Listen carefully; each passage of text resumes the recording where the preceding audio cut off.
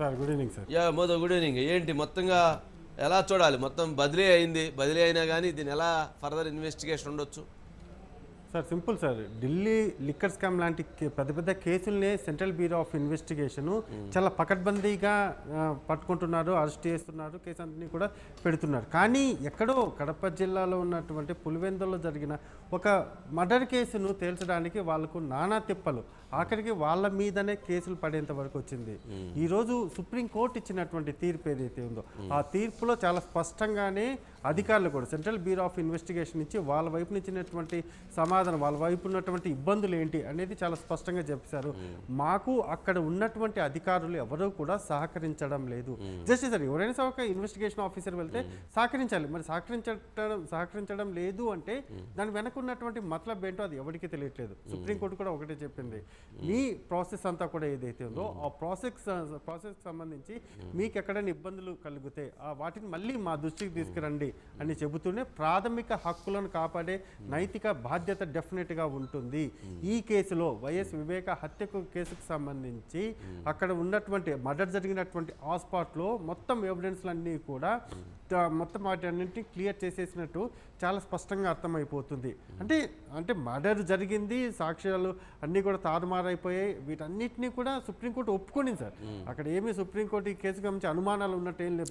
ఇక్కడ ఈ మర్డర్ సంబంధించి జరిగినట్టు వాటన్నిటినీ కూడా నిందితులు అందరూ కూడా వాటన్నిటిని కూడా క్లియర్ చేసేసారు వాటన్నిటిని కూడా పోలీసులకు కానీ సెంట్రల్ బ్యూరో ఆఫ్ ఇన్వెస్టిగేషన్ అధికారులకు కానీ అప్పుడు ఎవరికి దొరకకుండా చేసేసారు అన్నారు అయితే సిబిఐ అధికారులు ఇప్పుడు ఒకటే సార్.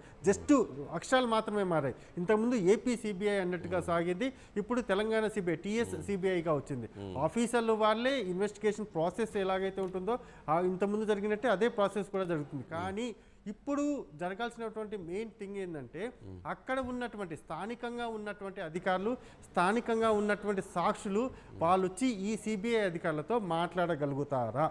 అనేది ఇప్పుడు పెద్ద క్వశ్చన్ మార్క్ సార్ ఎందుకంటే జస్ట్ ఫేసులు మారినంత మాత్రం సిబిఐ అధికారులు మారినంత మాత్రం లేకపోతే సిబిఐ ఇన్వెస్టిగేషన్ ప్రాసెస్ అయితే ఎక్కడ మారదు. సేమ్ ప్రాసెస్ ఏ ఉంటుంది.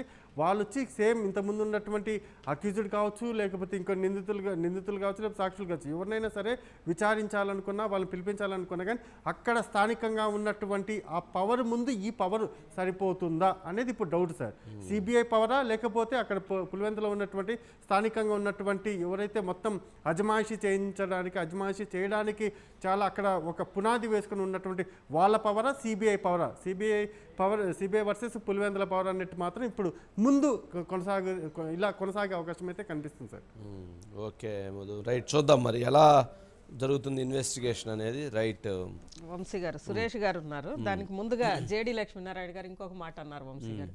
అన్నిటికంటే కూడా అత్యంత సులభం హత్య కేసు దర్యాప్తు చేయడం అంట.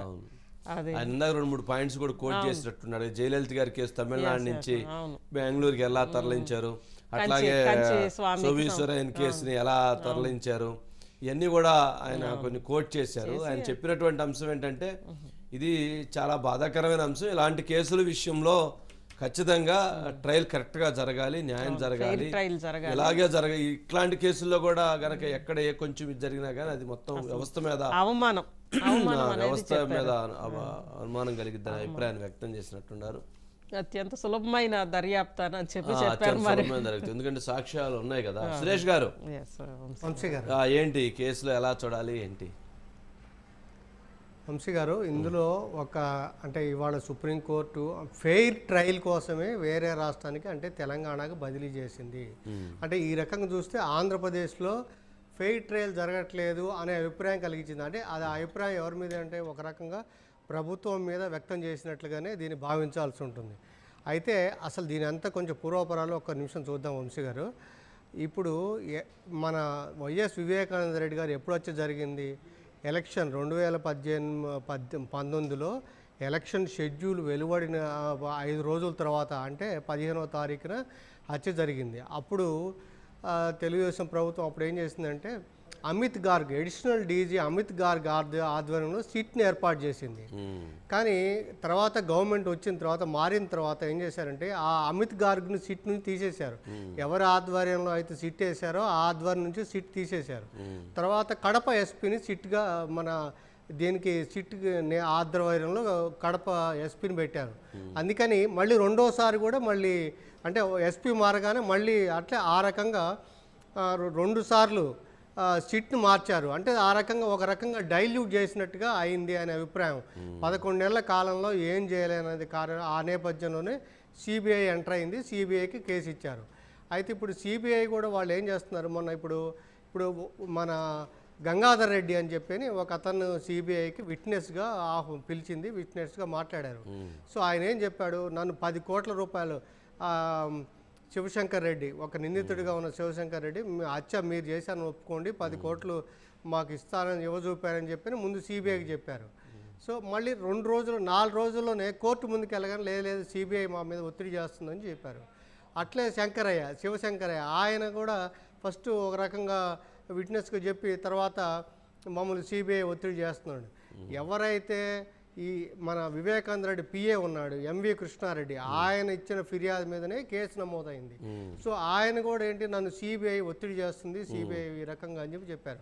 అంటే ఒక రకంగా సిబిఐ వాళ్ళు ఏమంటున్నారు మా మేము కూడా పనిచేసుకునే ఇది అవకాశం లేకుండా పోయింది సిబిఐ ఆఫీసర్లనే ఇట్లా టార్గెట్ చేశారు అని చెప్పి ఫెయిర్ ట్రయల్కి అవకాశం లేదు అనే అభిప్రాయ నేపథ్యంలోనే ఇవి ఇవి ఇప్పుడు వేరే కోర్టుకు అనేది అంటే వేరే రాష్ట్రానికి బదిలీ చేయడం అనేది సుప్రీంకోర్టు చేసుకొని ఈ ప్రాథమిక హక్కు బాధితురాలు ఇది కోరడం అనేది ప్రాథమిక హక్కుగా భావించాల్సి ఉంటుంది.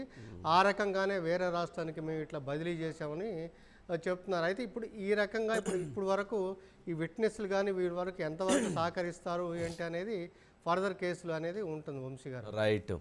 అంటే అది ఒక అంశంతో పాటు ఒక ఎస్పీ ఎవరైతే ఆ ఎస్పీ కూడా ఈ కేసు నేపథ్యంలో నేను ఇక్కడ కడపలో ఉండను అని చెప్పని ఆయన స్వయంగా అక్కడి నుంచి బదిలీ చేయించుకొని బయటకు వచ్చేసారు అది కూడా అప్పట్లో ఒక అదే మహాంతి.